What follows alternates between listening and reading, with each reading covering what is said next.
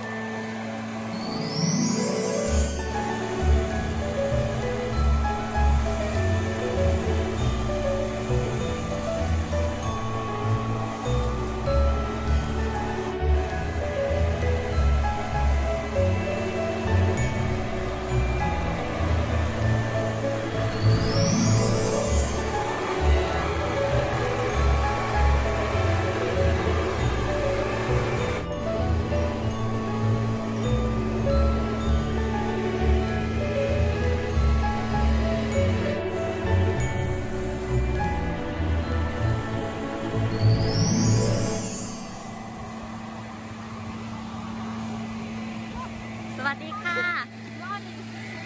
สวัสดีค่ะ